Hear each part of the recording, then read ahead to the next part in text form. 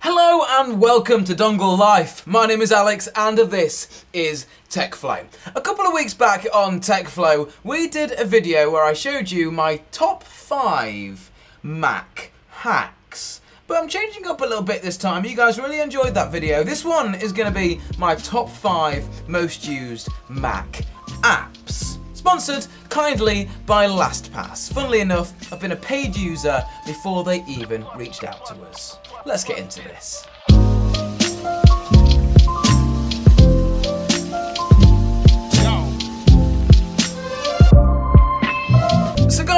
In at number five, I'm to treat you. I'm to treat all of you. There's actually to be two programs coming in at the number five spot, and please bear in mind, this list is in no particular order. And again, I want to preface, if I was actually going to show you my top five most used Mac apps, I'd be showing you things like Google Chrome, but what would be the point in, in that? As I say guys, two for one coming in at the number five spot. I'm gonna go into my networking folder here. This is an app called Wi-Fi Explorer. Now before I open it, what I'm gonna go ahead and do is scan for Wi-Fi on the actual Mac. And as you can see, it just says everything is full signal. It doesn't really give you a, a uh, an actual indication as to the actual signal strength. I mean, some of these access points, which I know are in literally buildings over the road, and then I've got my PlayStation 4, which is right behind me. The actual Mac Wi-Fi analyzing tool is absolute rubbish. So I like to use this. It's called Wi-Fi Explorer. It's a free tool. As again, guys, I'll put all these links in the description. As soon as you open it, guys, all it's to do is scan for the networks. But it gives you a load more information than, well, what the normal Mac would give you. So I'm just to turn off this update here because I don't think we need it. So as you can see here, it gives you the BSSID, which isn't really very useful for me. What I like to do is see the actual vendor of what's around here. So if you actually click on that, we're to sort this out by, by vendor right here. So as you can see, our office actually use Sophos access points, and then all of these access points, which are Ubiquiti networks, are the gear that we use in our actual office. So you can see that as well as all the signal strengths, so you can actually sort it by signal strength, so what's got the weakest, what's got the strongest. But then this is where I really, really, really use this tool it actually shows you the channel of the Wi-Fi. So you can go ahead and make sure you are putting your channel or your Wi-Fi on its own separate channel so you're not overlapping with anybody else. And it also shows you the bands and the width that they are using and the total theoretical throughput, which is awesome. And also, I told you guys, number five, the number five spot was a two-in-one. I'm gonna show you a separate app. So if you actually want to then go ahead and log onto your router or router to change your channel after you've done a little bit of Wi-Fi exploring, this is a free app called LANscan. You open this, you click the play button, and what it's gonna do is it's gonna scan for all the devices on your network, and your router will be one of these. Obviously, there's a lot of devices on our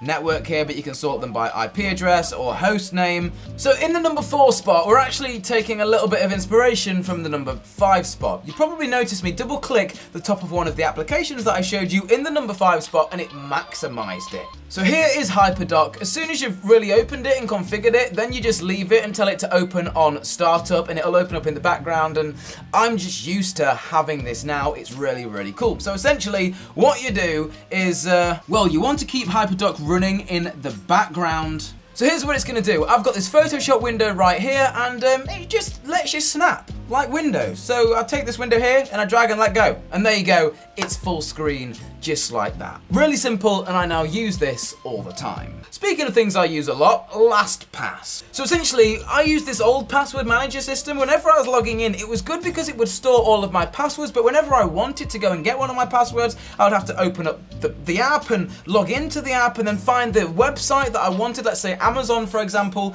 then I'd have to go ahead and manually control C or command C the password and command V the password into Amazon or wherever I'm trying to log into. Really, really annoying. But with LastPass, it's really quite simple. So all you do is you go to the Chrome Web Store and you install the LastPass extension. And then essentially, as you can see, I've, I've already got it installed here. And look at, look at those reviews. This is serious gear. As soon as you go to Amazon here and attempt to sign in, I'll just put my email address in there, which Jed will blur out. And there you go. You can see this little thing right here. If I click that, all it's going to go ahead and do is stick my password straight in there. Bish bash bosh I'm in. So as you guys can see here, as well as installing the actual LastPass manager, it also installs this little box up here. So if you click on that, it will take you straight to your vault. And then what I've gone ahead and done here, guys, is created a brand new account so you guys can't see all of my other passwords that I've got in my actual LastPass account. I'm gonna go ahead and add a site to show you guys how easy it is here. So I'm just gonna add things here. So you just go down here and you click on add site. And then the URL of the website that I'm gonna add again, and I'm going to use Amazon as a test, so I'm going to put amazon.co.uk in here. Then I'm going to add my username, which is now blurred out. And then also add my password, and then click save. And as you guys can see, I've got my Amazon account right there. I can go ahead and launch Amazon right from the LastPass window. And one really cool thing is if you click on this little spanner right here, you can auto change the password. So if you're thinking your passwords are a little bit weak, you can go ahead and use LastPass's one-click password changer, and it go ahead and change your password for you. Like that. And just like how LastPass filled in my password when I showed you guys on Amazon, you can also do the form fills, which is essentially you can add actual full-on forms, like things like debit cards and credit cards and payment addresses and, addre and then just your actual house address. So if you're at checkout for something, you can actually check out in a matter of clicks. Payment information, LastPass, address, LastPass, checkout complete.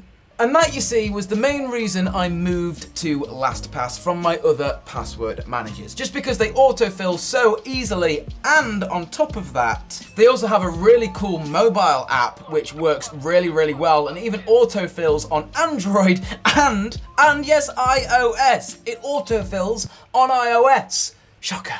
So with all of those features, guys, and the fact that it's as tight as a bank on security, that is why I want to recommend it to you guys. We'll put a down a link in the description. We really hope you go and check out LastPass. And thanks, guys, for sponsoring this video. I mean, I've used LastPass myself for years now, but thanks. Appreciate it. Okay, so moving on from LastPass down to number two right here, it's to be Final Cut Pro. Now, while this is opening, I'm to tell you guys that I am primarily a Premiere Pro user, right? And there's this big debate between Final Cut Pro and Premiere Pro, and I'm 100% on Team Premiere Pro. I am, I am, I am. But on a Mac, if you have a Mac, I mean, why are you watching this video if you don't have a Mac? Because it's my top five favorite Mac apps. Anyway, Final Cut Pro on a Mac is absolutely incredible because the software is made by Apple and optimized for Apple Mac books. And that means it works really, really, really, really well. So it means if you have, let's say, an older Mac, but have Final Cut Pro on it, you will still be able to edit native 4K content on that machine than an equivalent Windows computer running Premiere Pro. And that is just straight facts. And as you can see, clicking the spacebar right here to open up the preview, it just doesn't lag, it doesn't stutter, I can scrub through the timeline, and everything just works, it's amazing. As you can see, I've even got some effects on here right now, and it's just playing absolutely fine.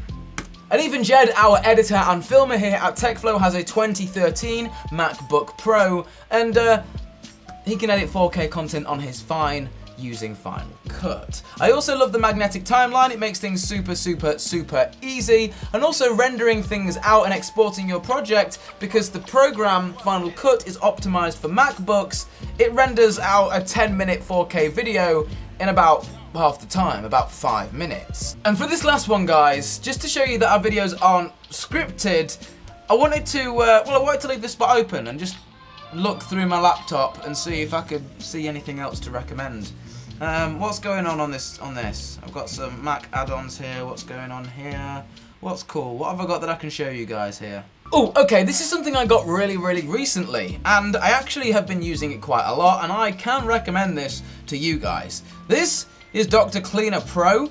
Yeah, I'm gonna I'm gonna use this. I'm gonna demonstrate this to you guys because it's super super cool. So I open this probably only about once a month, but I need to do this without fail because it keeps my Mac up to date and all running smoothly. So as you can see, as soon as you open Dr. Cleaner, it opens up here and tells you how much memory you've got left, to which I have 54%. It's a slight little bit like CCleaner for Windows, but the Mac version, if that makes sense. Well, as you guys can see here, it's telling me that it's found a couple of junk files. It's found some big files that it will then show me if I want to remove them. So if you click that, it's going to probably give me a load of films that I've got on here. Yeah, I've got Wreck-It Ralph there and a load of other big films. And it's simply just helping you clean up storage. If we go back to the smart scan screen, it's saying applications that you haven't used for some time, and it maybe say why don't you remove them and clean them off your computer. Or you could even view all of the junk files as to which there's four Whoa. So as you can see here, Google has a junk file folder, 471 meg full of junk. Apple has a few, Adobe has a few here. So I don't really need any of this junk on my computer. So I can just go ahead